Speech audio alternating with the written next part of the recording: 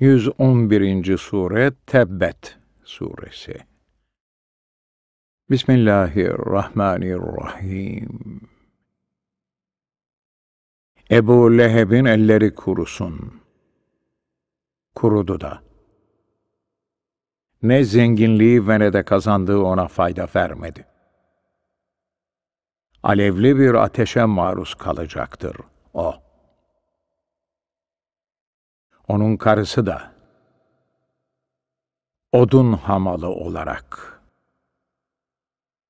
boynunda hurma lifinden bir ip olduğu halde